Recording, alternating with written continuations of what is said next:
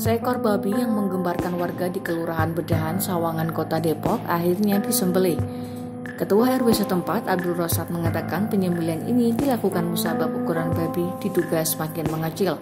Rosad juga menuturkan sebelum disembelih terlebih dahulu dilakukan pengajian oleh warga sekitar. Selesai penyembelihan, Rosad pun mengatakan tidak ada keganjilan yang terjadi.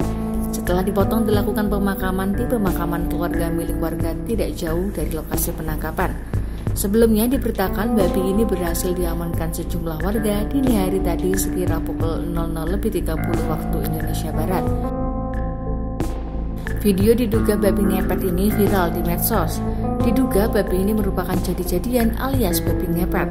Melansir dari situs Wikipedia, babi ngepet adalah makhluk dalam legenda masyarakat Indonesia yang bercerita tentang siluman. Beberapa mitos juga menceritakan babi ngepet merupakan siluman manusia yang ingin kaya secara cepat dengan cara pesugihan. Dugaan ini semakin menjadi-jadi sejumlah warga kehilangan uang beberapa waktu belakangan ini, mulai dari ratusan ribu hingga jutaan rupiah.